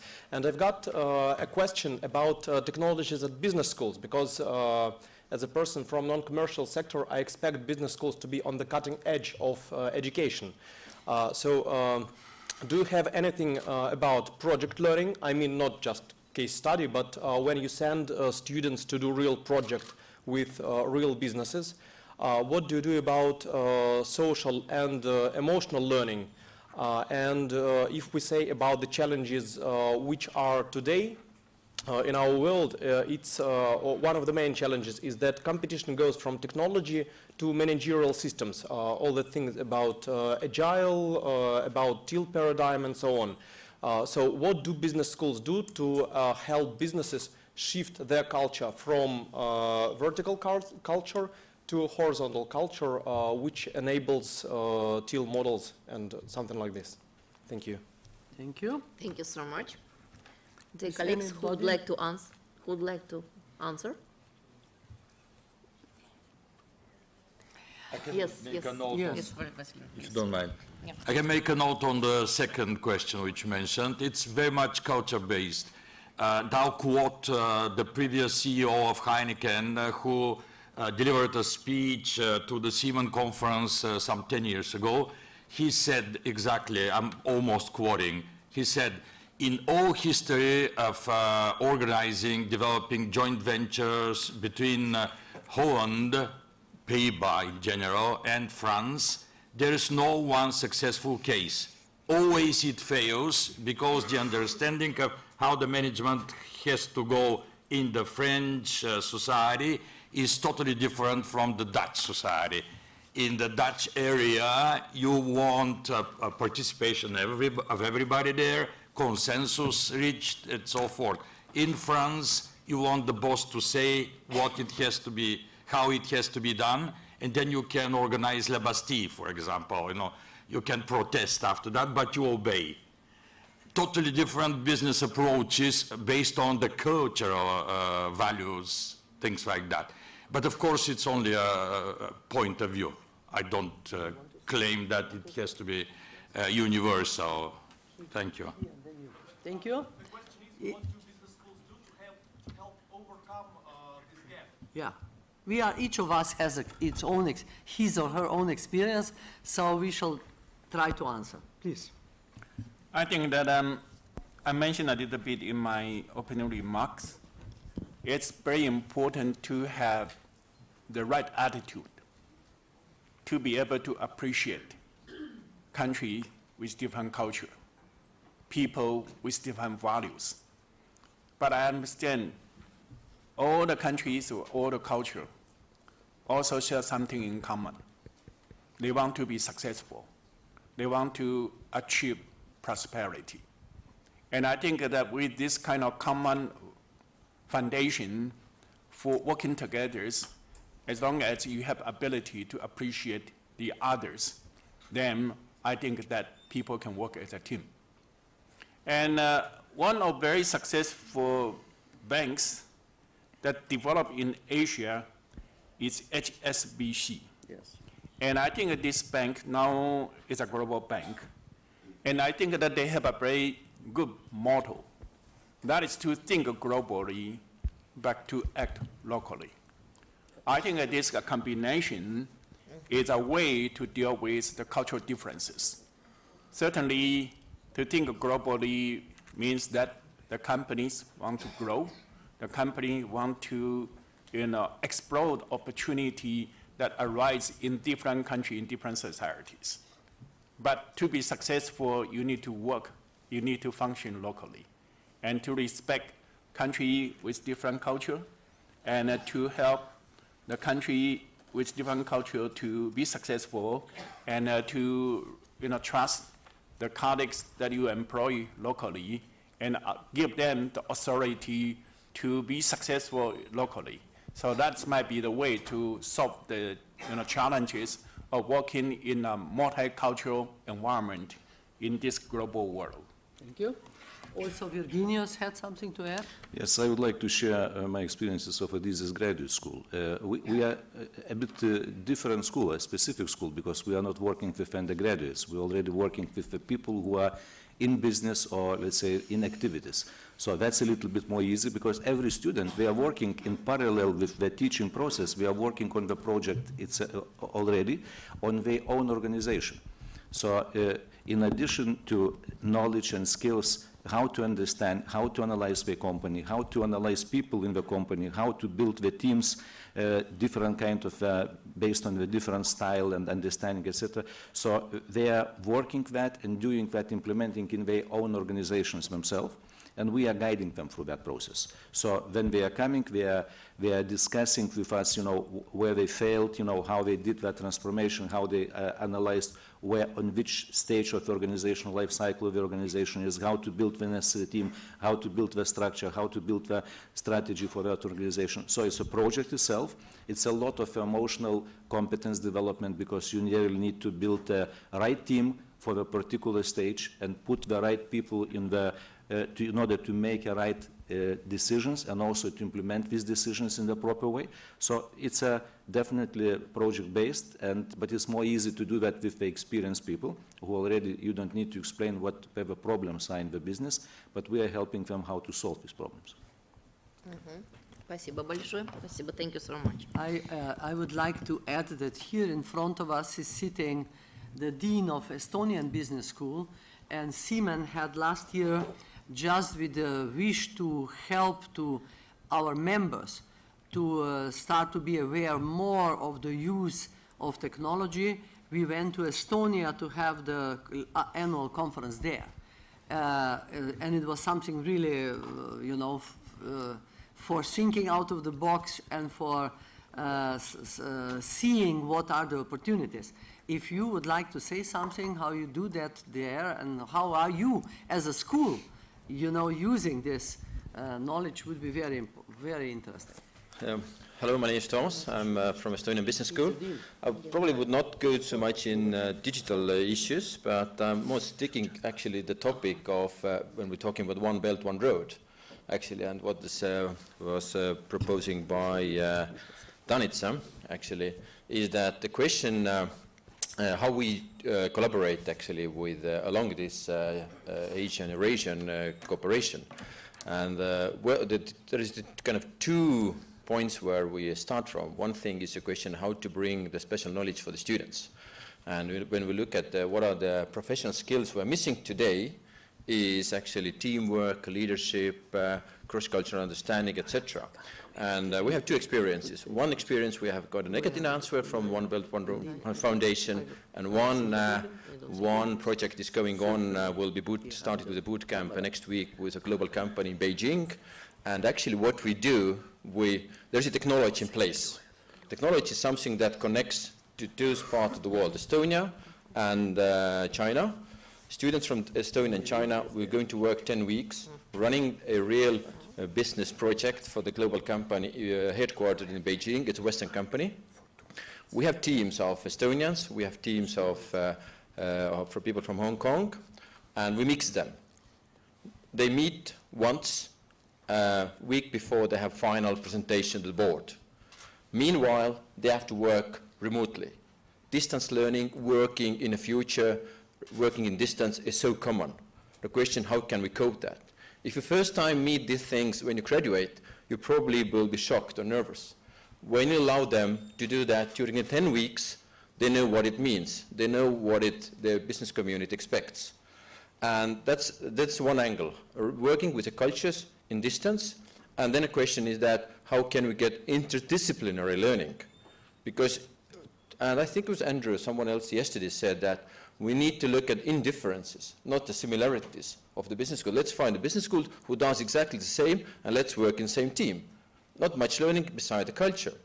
But what we have said from Hong Kong Polytechnical University, okay, they will give us engineers, we have the business students, and they have to cope in 10 weeks.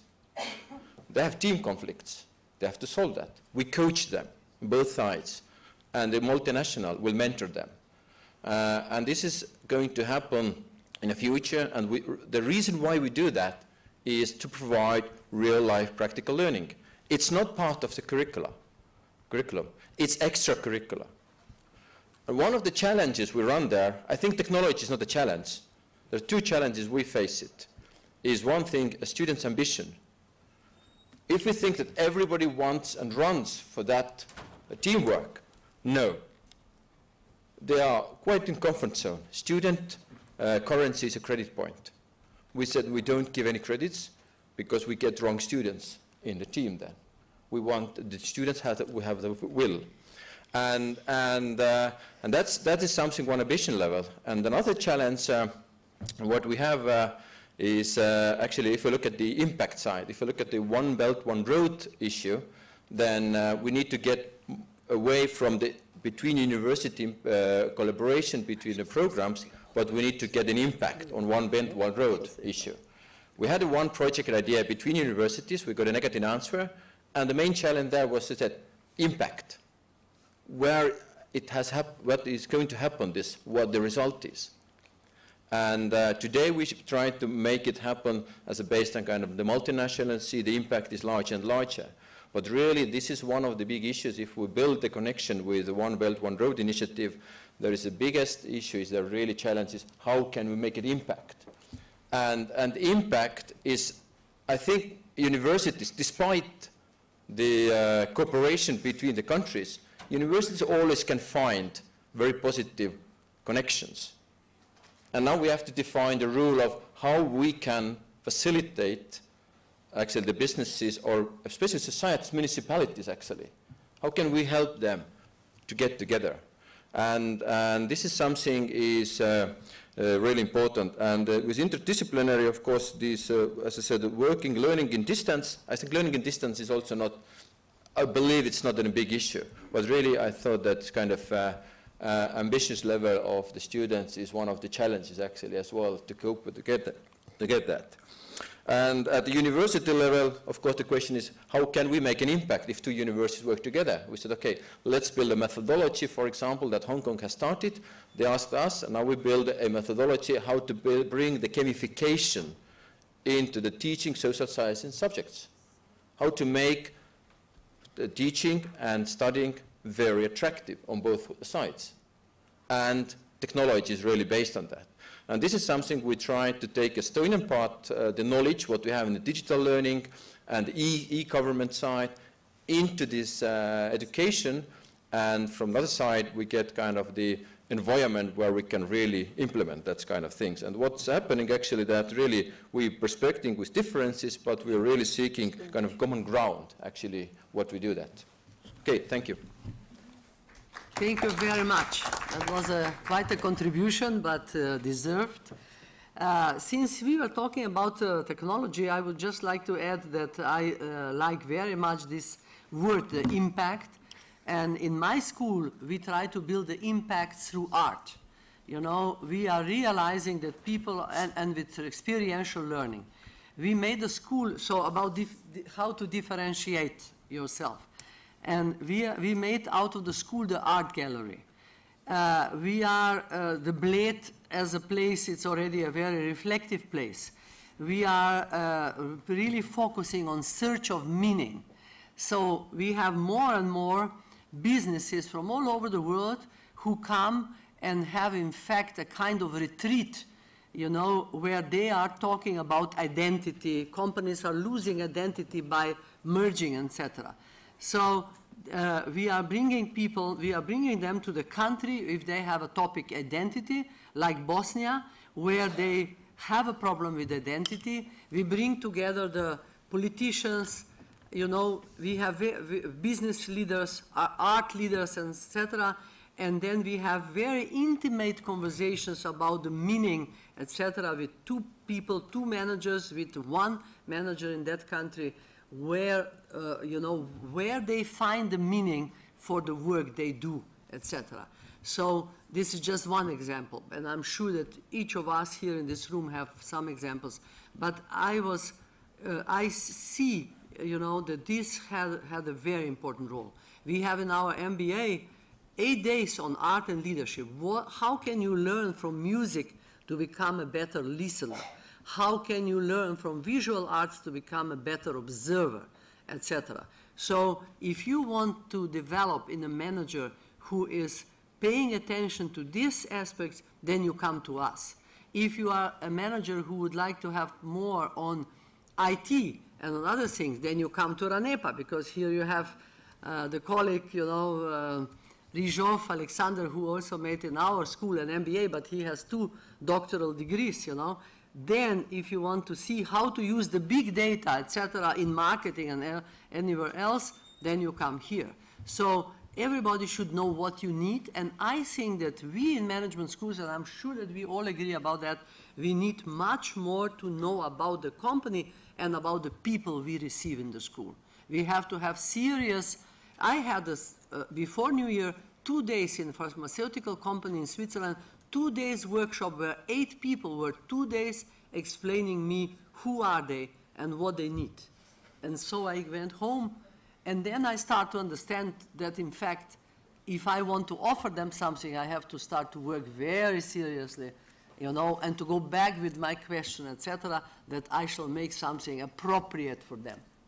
You know, this is, the management education is changing, is becoming much more advising, consulting, much more than just teaching, you know.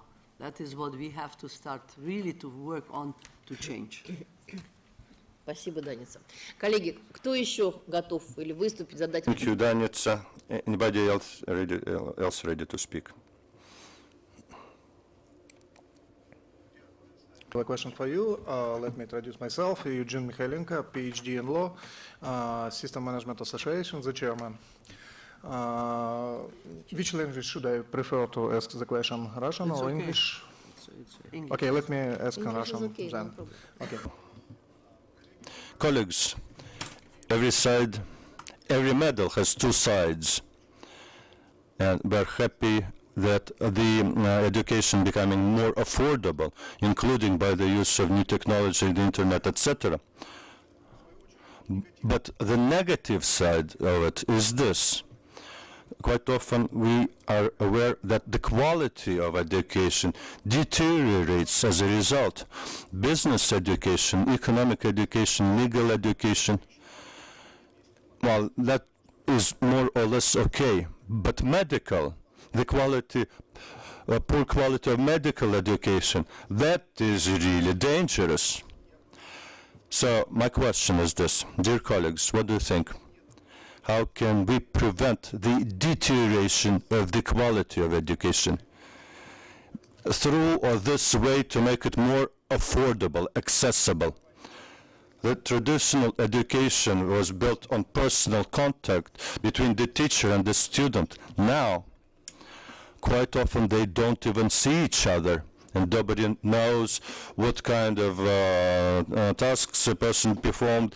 Uh, did he perform those tasks or use the internet? We don't know about that. I would, would not give you specific na names of schools which do things like that. That was on Russian TV. So the question is uh, this, how to prevent uh, the uh, dilution of quality through remote learning? It's an interesting question, of course. Well, in uh, Rabo and NASDOBR, uh, our organizations are going to have an open session of the Presidium after the session. These are the issues which are extremely high on our agenda. We are responsible for the quality of business education in Russia, and NASDOBR uh, which uh, is doing accreditation of the schools and programs. Being so, we do exert a lot of effort to make sure we maintain high qualities, high quality of ed, uh, education. We monitor those standards, and the uh, uh, uh organizations which have accreditation from NASDOBR, we do monitor that. Now, how can that be done generally, or what else can be done? You cannot do that. You can do nothing about that because there's the market. The market will decide. Before, you would uh, have a graduate from a government university with a government diploma. There had been no guarantee, any guarantee, that that would be a high-level professional, and that.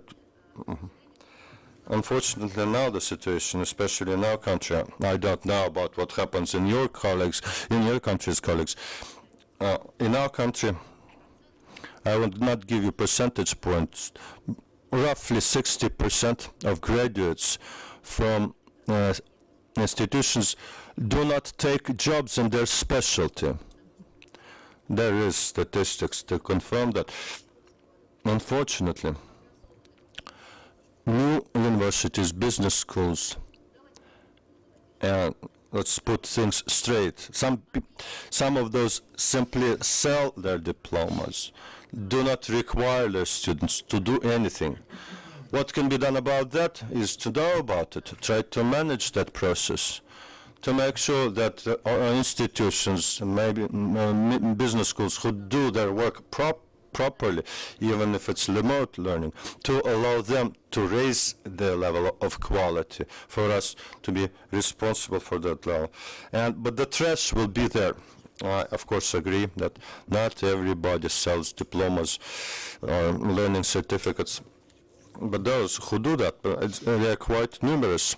And for an employer, they wouldn't know what is the quality of uh, a diploma uh, from a particular business school. Don't you think there should be a specific mechanism in addition to state uh, uh, accreditation that would guarantee the quality of education for employers to make sure employers see that the quality of learning was good? Uh, uh, a former deputy rector of Mirmi School. She's an international inspector of AMBA and in particular in Nasdobr, she's responsible for the quality of education. Please don't think that employers don't know anything about the business schools. And that's important for them, what kind of business school, school person graduated from.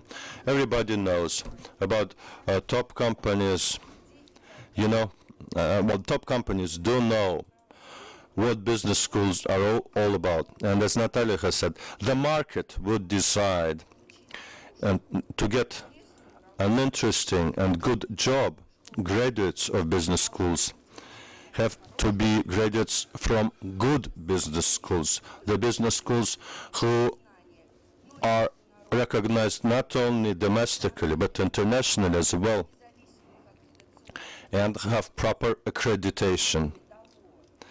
And additionally,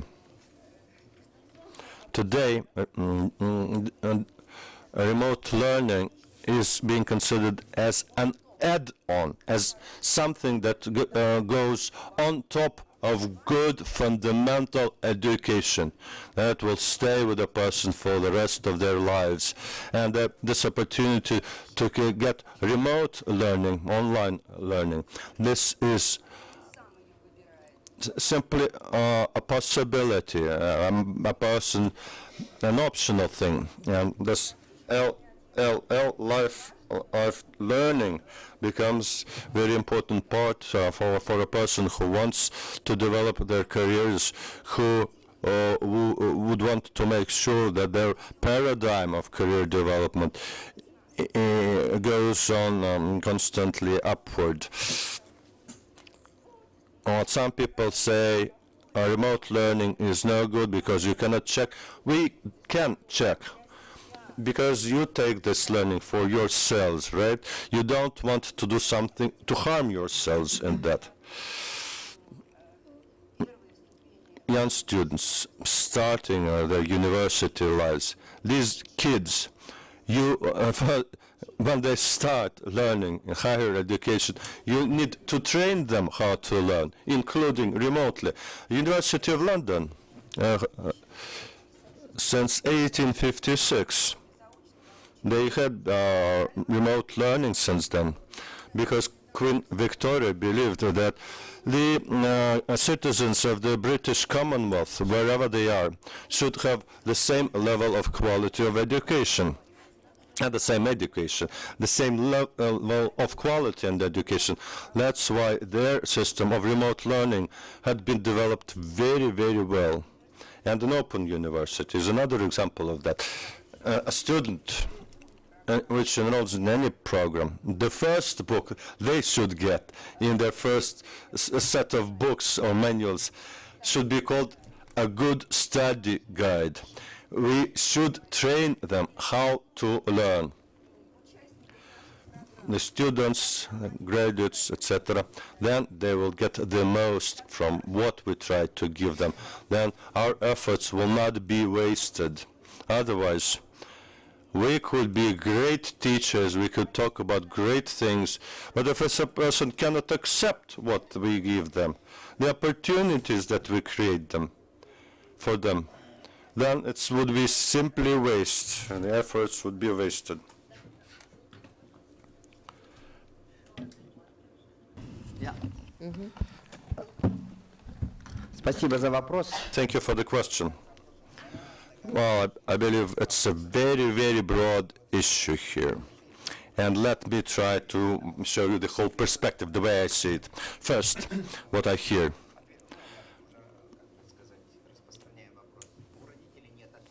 Well, parents do not take that responsibility for the selection of a school. The companies don't take responsibility for the choice of a, a business school. This is the opinion. But I do think that it's uh, something inherited from uh, Soviet past, where we thought that uh, uh education was like a part of the public good. Well, when you select, select where teach your the theater, the theater you want to go, you make a selection and try to do it promptly. But in education, sometimes we forget to make the right uh, selection and to first become competent and then. In the market economy, I believe companies' uh, responsibility for the high quality of education is extremely high. And the quality, good quality, should be created together, not unilaterally by any of the parties. Once the companies start realizing that, starting sharing their responsibility, that would work better for the quality of business schools. Education as a service means it's not si simply a, a, good that is given by the government, and the government would be responsible. No, we should all be responsible for the quality. Uh, we are a market economy, and we uh, should have a competitive environment, uh, open, uh, free, professional competition is important. Uh, there are uh, certain regulations, some requirements. Let me give you an example of Almaty University that I work for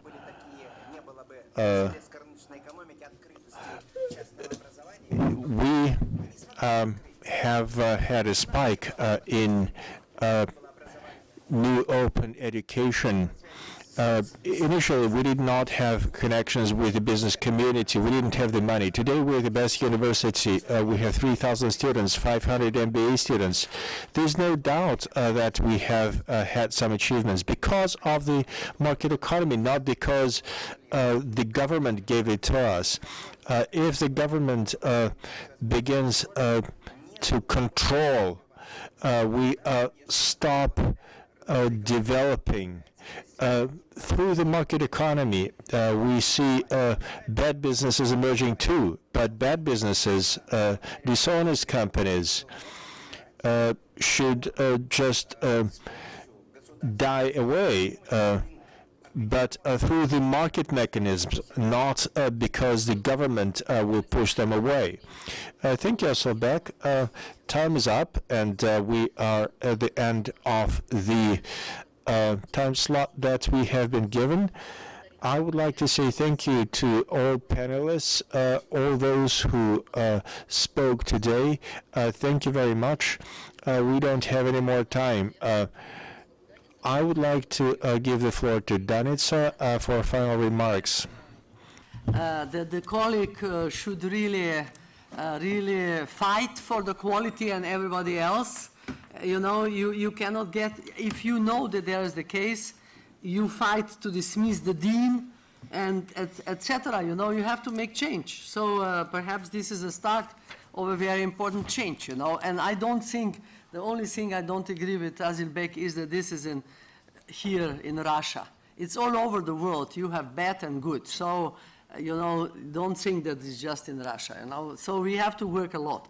And I think that such a, what you mentioned, Natalia, Rabo, and CEEMAN, and AMBA, and all this, you know, not only accreditation agencies, because often they are too much sticking to certain rules and to certain, you know, uh, that they elaborated, uh, that they elaborate and they are sometimes not, uh, re, uh, how shall I say, they cannot be, in fact, in front, you know, because they are following the practice, mm-hmm. uh, although some they try to be. But I think that with such a meeting as ours today here, and I see that in this GAIDAR forum there are quite uh, a lot of sessions on education, we can contribute a little bit at least to the improvement, to sharing the new of ideas, course, of course. to this sharing the practices, Everyday etc. work. But this is the process, and uh, mm -hmm. I would like to consolate you, you know, that, that you are not the only one, but that you, but to stimulate you at the same time that you do something for that, you know, also in your own environment, only on that way. And I think that we are really realizing more and more that business schools play an important role as educators, intermediators, and in business society platforms. So we have to be responsible for responsible management education. Thank you very much. And thank, thank you, you, for great to great public who was on time and who was contributing. Thank you. Thank you.